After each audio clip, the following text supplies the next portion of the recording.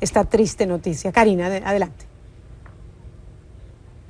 Hola Patricia, sí, realmente muy triste la noticia confirmada, el fallecimiento por parte del vocero de prensa del actor Robert Williams. Dice que confirma el fallecimiento, que también confirma que en los últimos años estaba sufriendo de una fuerte depresión. La familia, por su parte, su esposa pide, eh, por supuesto, que se mantenga la privacidad de la familia. Por otra parte, el departamento del sheriff del condado Tecum Marine, al norte de California, donde residía el actor Robin Williams, confirmó que se está investigando la muerte por supuestamente, supuesto suicidio por asfixia, pero todavía el forense está trabajando en el caso, por lo cual esto no ha sido confirmado, pero sí es un comunicado oficial del alguacil justamente del área donde residía Robin Williams y donde se recibió una llamada de urgencia al teléfono 911 a las 10 de la mañana, donde se dio la trágica noticia.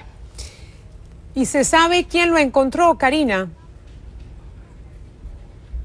Hasta el momento no ha trascendido esa información. La familia, como te decía, se ha mantenido bastante hermética al respecto. Simplemente confirmaron y dijeron que le estaba sufriendo de una fuerte depresión. Hay allegados que también han manifestado a medios de comunicación que Robin Williams había vuelto a tener problemas con el uso de alcohol y drogas pero esto no lo ha confirmado, por supuesto el forense todavía investiga y la familia tampoco lo ha dicho. Por lo pronto ya muchos famosos se han hecho justamente mediante las redes sociales han dicho que lamentan la muerte del actor y aquí en Hollywood, en el Paseo de la Fama donde está su estrella, ya se acercan también los fanáticos para dar su pésame.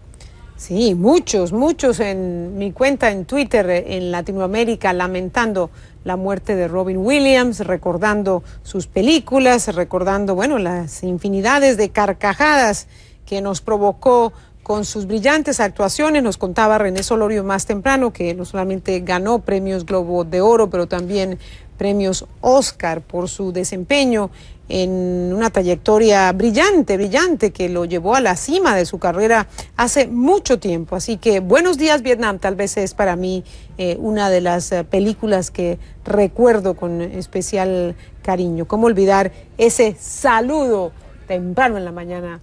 por la radio. Buenos días, Vietnam. Gracias, Karina. Karina Dalmas en Los Ángeles y con esto nos despedimos. Gracias por su sintonía. Regreso mañana.